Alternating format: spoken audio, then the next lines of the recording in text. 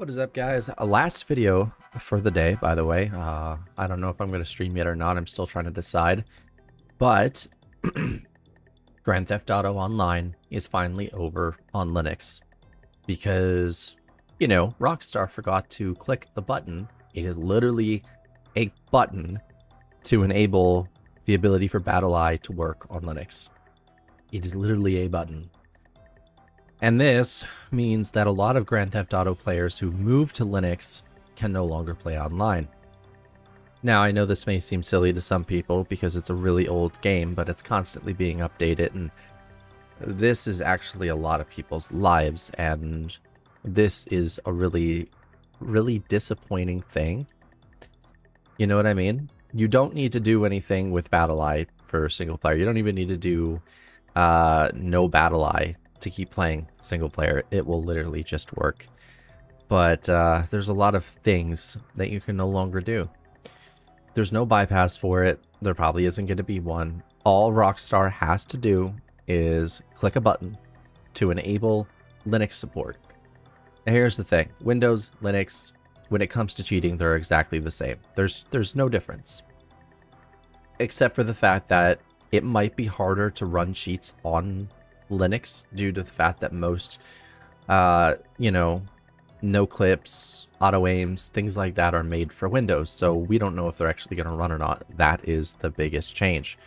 And that would make Linux a little bit less of a platform for people who cheat to really use, unless software was designed for Linux, which most of the time it's not, because then it has to uh, basically run on Linux but basically attach itself to an exe and then do all that stuff and most cheat makers won't even bother because it's not really that big of a market to do. So there's zero excuse not to just click this button and enable BattlEye to run on Linux because again it is just a button. And adding support would be a really big thing that they could do. I mean a lot of people will probably appreciate it. I don't like going on here. Again there's cheaters on console, there's cheaters on PC, there's cheaters everywhere. And this is not going to stop it by any means, but this is definitely something to look out for if you're one of those people that do play GTA Online on Linux. It's not happening anymore. Sorry about that. Same thing goes with EA and their new anti-cheat software for Battlefield. We don't know if it's going to run on Linux. Okay, we don't know yet. But if it does, great. If it doesn't, that's really going to be a bad thing for the Battlefield community because I know a lot of Battlefield uh, veterans that have moved to Linux due to Windows just being extremely buggy and bloaty. Bloaty? Really bloated. I am one of those Battlefield veterans that moved over to Linux. I mean, right now I can play Battlefield 3, I can play Battlefield 4, I can play Battlefield 1. I don't know if 5 works, I know 1942 doesn't work because the developers just said, nope, nope, we don't want it. And that's kind of disappointing because they refuse to support it even though they can definitely do so without much of an issue. Again, just because it's Linux, it doesn't mean it's easier to cheat. In fact, it might be more difficult to do so because of the things that I mentioned earlier.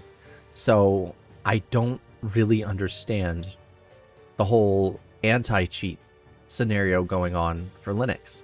If it's not a kernel level thing, I get that kernel level things are stupid and honestly Microsoft doesn't like them themselves. Those don't really have a place in gaming and they don't they should never have a place in gaming. Valorant is pointless, honestly, because of that. It's just most players won't touch it because of the kernel level anti-cheat, which has been causing issues in disabling a lot of people's Ethernet connections and even some notable Wi-Fi ones. So Microsoft's kind of a little bit pissed off, I guess, about that as well.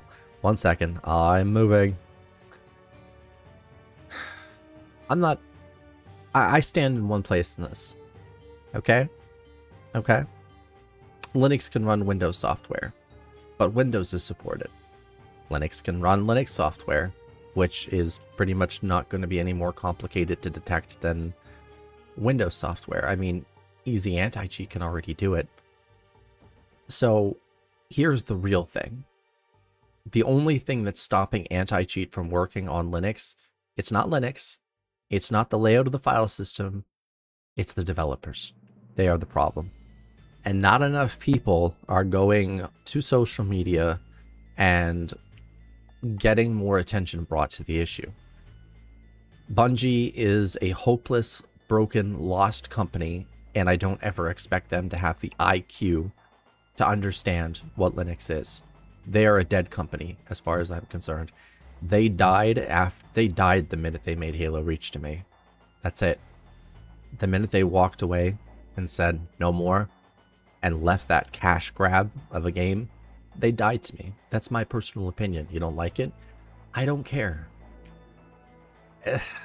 Destiny is just boring. And I don't know.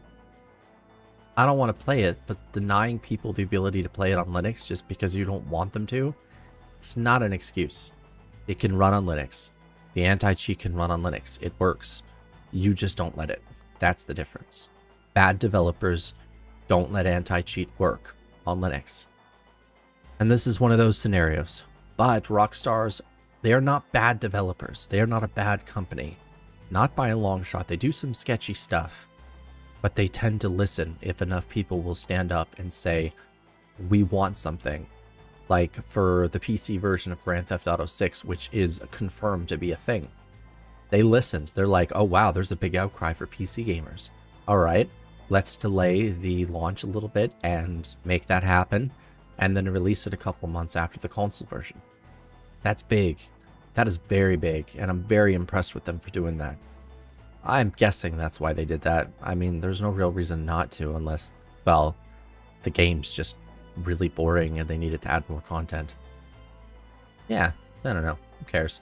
The point is, if you want this to be a thing, if you want them to support Linux, be vocal. Jump on the social media platforms where they are seen to interact the most and spam the living crap out of them. They have forums. Team up Go after them in the forums. Ask for support. Keep asking. Keep asking. Convince them. Make this a thing. We're never going to get anywhere if we don't stand up and get noticed because way more people use Linux than Microsoft or anybody else really wants to give credit to. Uh, most people don't allow telemetry or anything else to be even read from their PC, so there's a lot of people that are unknown in the global market share that are using Linux but again, if you deny the telemetry and the reading and everything else, I hate saying this, Linux's market share looks way lower than it should. So to all you paranoid people out there, I think maybe it's time to head to Steam and really do the survey, or head on to Chrome and turn off whatever extension you're using and just do your thing, or Firefox, or Brave, whatever. Stand up and get noticed. It's time. Because this this is an easy fix. This is a click of a button.